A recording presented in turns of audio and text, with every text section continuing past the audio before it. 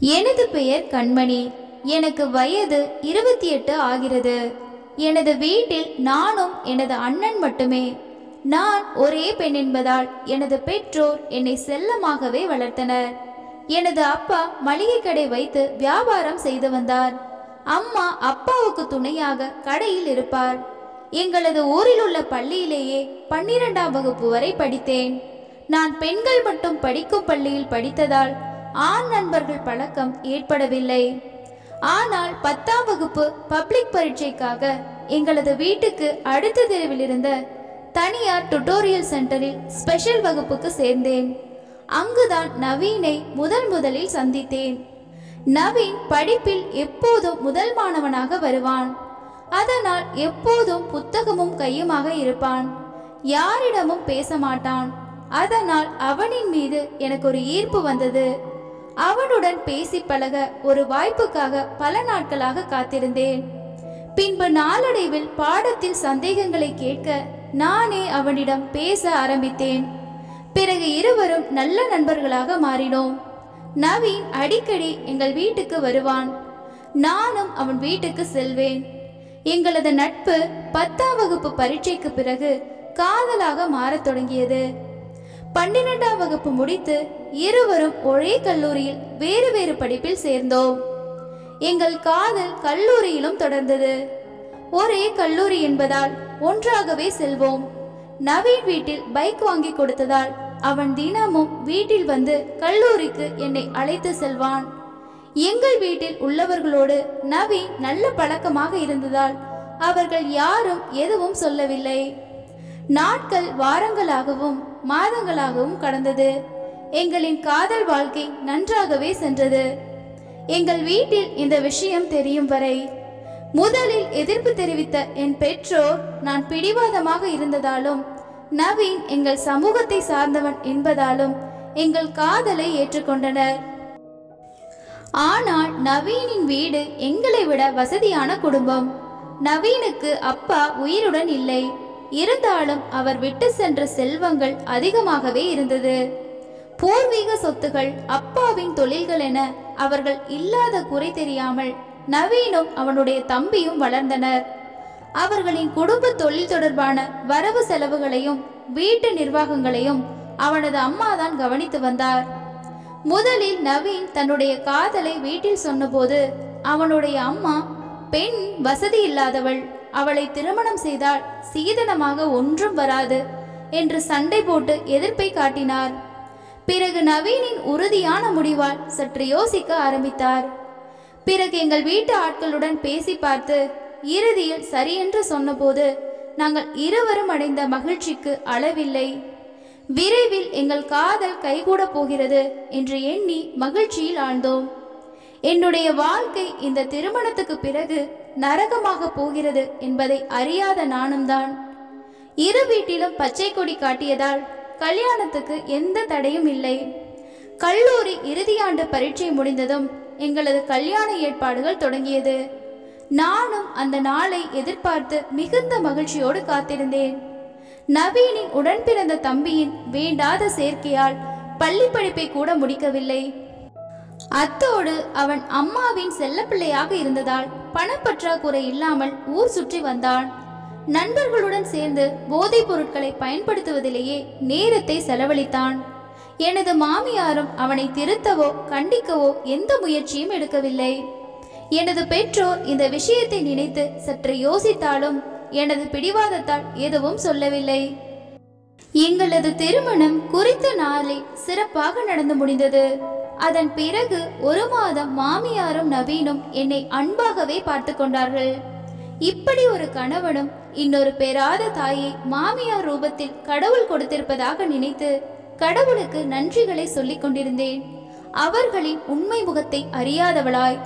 ஆம் ஆசை அறுபது நாள் மோகம் முப்பது நாள் என்பார்களே. அதுபோலத்தான் இரண்டு மாதங்களுக்கு பிறகு நவீனின் நடவடிக்கையில் சின்ன சின்ன மாற்றங்களை உணர ஆரம்பித்தேன். நவீனும் அம்மாவின் செல்லப்பிள்ளை என்பதால் அவரின் வார்த்தைக்கு மறுபேச்சு பேச மாட்டான் மாமியார் என்னை நடத்தும் விதத்திலும் நிறைய மாற்றங்கள் வரத் தொடங்கியது. வார்த்தைகள் கடுமையாக வரத் தொடங்கியது. ஒன்றுமில்லாம வந்தவதானே சொத்துக்கு ஆசைப்பட்டுதானே என்னோட மகனை வளைச்சு போட்ட. உடம்பு சுகம் காட்டி என்னோட பிள்ளைய இப்படி ஆக்கிட்டாளே என்று தினம் தினம் வார்த்தைகளால் என்னை கொடுமைப்படுத்த ஆரம்பித்தார். இதை பற்றி நவீனிடம் சொன்னால் என் அம்மா அப்படி இல்லை. நீதான் அப்படி என்று சண்டையிட ஆரம்பித்தான். இது நானாக தேர்ந்தெடுத்த வாழ்க்கை என்பதால் என் பெற்றோரிடம் இதையெல்லாம் சொல்லி அவர்களை கஷ்டப்படுத்த விரும்பாமல் சகித்து கொண்டு வாழ ஆரம்பித்தேன். அந்த வீட்டில் நான் ஒரு சம்பளம் இல்லாத வேலைக்காரியைப் போல் வாழ வேண்டிய சூழ்நிலைக்கு என்னை ஆளாக்கி விட்டார்கள். என் கணவரும் வீட்டில் அதிகம் தங்குவதோ என்னிடம் பேசுவதோ இல்லை. இது எல்லாம் ஒருபுறம் இருக்க திருமணமாகி மூன்றாவது மாதத்தில் நான் கர்ப்பமானேன். அப்போது என் மாமியார் உனக்கு சாப்பாடு போடுவதே தண்டம். இதுல கர்ப்பம் வேற என்று திட்டத் தொடங்கினார்கள். என் கணவரோ சரியாக வேலைக்கு செல்வதில்லை. அம்மாவின் பேச்சை கேட்டுக்கொண்டு என்னை கண்டுகொள்ளவே இல்லை. ஒரு கட்டத்துக்கு பிறகு கர்ப்பிணி என்று கூட பார்க்காமல் இருவரும் சேர்ந்து கொண்டு என்னை அடித்து துன்புறுத்த தொடங்கிவிட்டார்கள். நான் இதை என் பெற்றோரிடம் தெரிவித்தேன். அவர்களும் மாமியாரிடம் நியாயம் கேட்டார்கள். பின் என்னை அம்மா வீட்டுக்கு அழைத்து சென்று விட்டார்கள். நான் சென்று ஒரு வாரம் கழித்து எனது கணவர் அம்மா வீட்டுக்கு வந்து நான் செய்தது எல்லாமே தவறுதான். என்னை திருத்திக் கொள்ள ஒரு வாய்ப்பு கொடு என்று என்னிடமும் பெற்றோரிடமும் நல்லவர் நாடகத்தை அரங்கேற்றினார். நான் மறுத்த போதும் அம்மா அவரும் நல்லவர்தான். வாய்ப்பு கொடுக்கலாம் என்று சொல்லி என்னை சமாதானம் செய்து மாமியார் வீட்டுக்கு அனுப்பி வைத்தார். என் கணவனின் தம்பியின் போதை பழக்கம் நாளுக்கு நாள் அதிகரிக்கவே எனது மாமியார் உறவினர் ஒருவர் மூலம் சேகரன் என்பவரை அணுகி போதை பழக்கத்திலிருந்து மீட்பதற்கான சிகிச்சைக்கு ஏற்பாடு செய்யப்பட்டது. சேகரன் அந்த மையத்தில் முக்கிய நிர்வாகியாக இருந்ததால் சிகிச்சை பற்றி பேச வேண்டும் என்று கூறி அடிக்கடி வீட்டுக்கு வர தொடங்கினார். ஆரம்பத்தில் என் கணவர் இருக்கும்போது வருபவர். பிறகு என் மாமியார் தனியாக இருக்கும்போது மட்டுமே வருவார். அவர் வந்ததும் ஹாலில் வைத்து பேசாமல் படுக்கையறைக்கு அழைத்து சென்று கதவை மூடிக்கொள்வார்கள். நான் இதை பெரிதாக எடுத்துக்கொள்ளவில்லை. காரணம் என் கணவரை இதை பற்றி கண்டுகொள்ளவில்லை என்பதால். பிரசவ நேரம் நெருங்கியதால் நான் அம்மா வீட்டுக்கு சென்று விட்டேன். எங்கள் வீடும் மாமியார் வீடும் அடுத்தடுத்த தெருவில் தான் உள்ளது. அதனால் குழந்தை பிறந்த பிறகு ஒரு சில சமயம் அங்கு சென்று வருவேன். நான் போகும் சமயங்களில் மாமியார் தனியாகத்தான் இருப்பார்கள். ஆனால் அக்கம் பக்கம் உள்ளவர்கள் என்னிடம் உனது அத்தை அந்த சேகரனுடன் தவறான தொடர்பு உள்ளது. அடிக்கடி வந்து செல்கிறார் என்று சொன்னார்கள். இந்த விஷயத்தை நான் எனது அம்மாவிடம் மட்டுமே சொன்னேன். அதற்கு அவர் முழுமையாக தெரியாமல் இதை பற்றி வெளியே பேசாதே என்று கூறினார். அதன் பிறகு நானும் அந்த விஷயத்தை மறந்துவிட்டேன். எனது மகனுக்கு ஒரு வயது ஆனதும் நான் கணவர் வீட்டுக்கு வந்துவிட்டேன். என் அம்மா வீட்டில் இருந்த நாட்கள் மட்டுமே மகிழ்ச்சியான நாட்களாக இருந்தது. எனது மாமியார் மீண்டும் தன் சுயரூபத்தை காட்டத் தொடங்கிவிட்டார். இப்போது என் கணவரும் குடிப்பழக்கத்துக்கு அடிமையாகி என்னை தினமும் குடித்துவிட்டு வந்து அடித்து சித்திரவதை செய்ய ஆரம்பித்தார். இதையெல்லாம் என் மாமியாரும் உடனிருந்து ரசிப்பதுதான் கொடுமையின் உச்சகட்டம். ஒரு நாள் எனது மகனை அம்மா வீட்டில் விட்டுவிட்டு மருத்துவமனைக்கு சென்றேன். பிறகு என்னுடைய மெடிக்கல் ரிப்போர்ட் ஃபைலை மறந்து விட்டதால் என் மாமியார் வீட்டுக்கு சென்று அதை எடுத்து வரலாம் என்று வீட்டை நோக்கி சென்றேன். வீட்டின் முன்கதவு முழுமையாக மூடப்படாமல் இருக்கவே திறந்து கொண்டு உள்ளே போனேன். மாமியாரின் அரைப்பக்கம் ஒரு ஆணின் குரல் கேட்டது. அது என் கணவர் குரலாக இருக்கலாம் என்று முதலில் தோன்றியது. ஆனால் அந்த குரல் என் மாமியாரின் அழகை வர்ணித்துக் கொண்டிருப்பது போல கேட்டது. யாரென்று பார்க்க அந்த அறையை நோக்கி நடந்தேன். உள்ளே நான் எட்டி பார்த்தபோது நான் பார்த்த காட்சியை விவரிக்கவே எனக்கு கூச்சமாக இருக்கிறது. எனது மாமியார் அந்த சேகரனுடன் ஒன்றாக கட்டிலில் படுத்து இந்த வயதில் செய்யக்கூடாத தவறை செய்து கொண்டிருந்தாள். ஒரு நிமிடம் எனக்கு பயங்கரமான அதிர்ச்சியாக இருந்தது. நான் இந்த விஷயத்தை பார்த்ததை அவர்களும் கவனித்து விட்டார்கள். உடனே நான் இதை பற்றி எதுவும் பேசாமல் எனது அறைக்கு சென்று விட்டேன். பிறகு மாலை ஐந்து மணிக்கு என் குழந்தையை அழைத்து வருவதற்காக நான் கிளம்பிய போது என் மாமியார் என்னிடம் வந்து நீ இன்று பார்த்த விஷயத்தை உன் பெற்றோரிடமோ மற்றவர்களிடமோ சொன்னாலோ அல்லது சொல்ல நினைத்தாலோ உன் குழந்தையின் உயிர் உடம்பில் இருக்காது என்று என்னை மிரட்டினார்கள். நானும் என் குழந்தைக்காக யாரிடம் இதை பற்றி சொல்லாமல் மனதுக்குள்ளே புதைத்து கொண்டேன். இந்த நிகழ்ச்சிக்கு பிறகு அந்த நபர் வீட்டுக்கு வருவதும் அவர்கள் அறையில் அந்த விஷயங்கள் தொடர்வதும் வாடிக்கையாகவே இருந்தது.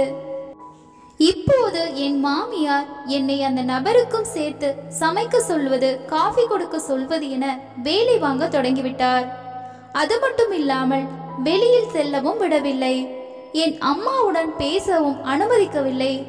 நான் இதை பற்றி யாரிடமும் சொல்ல மாட்டேன் என்று பலமுறை கெஞ்சி அழுத போதும் என் குழந்தையை என்னிடம் தருவதே இல்லை.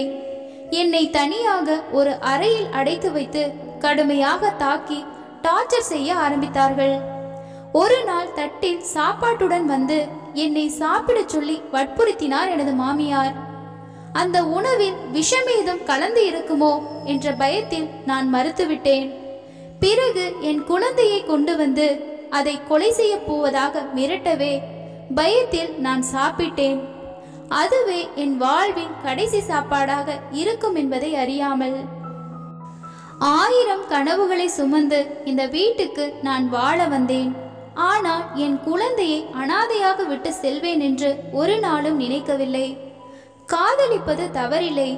ஆனால் அந்த காதல் இருவரிடமும் உண்மையானதாக வாழ்வின் கடைசி நிமிடம் வரை கண்டிப்பாக இருக்க வேண்டும். குறிப்பு இந்த கதை தமிழகத்தில் நடந்த ஒரு உண்மை சம்பவத்தை மையமாக கொண்டு ஓர் சமூக விழிப்புணர்வுக்காக நான் எழுதிய முதல் கதை. இந்த கதையில் அந்த பெண்ணின் மாமியாரால் சாப்பாட்டில் விஷம் வைத்து அந்த பெண் கொலை செய்யப்படுகிறாள். காரணம் அந்த பெண் மாமியாரின் வயது மீறிய கள்ள தொடர்பை அறிந்து கொண்டாள் என்பதால் மட்டுமே. இப்போது அந்த குழந்தை அனாதை ஆக்கப்பட்டுள்ளது.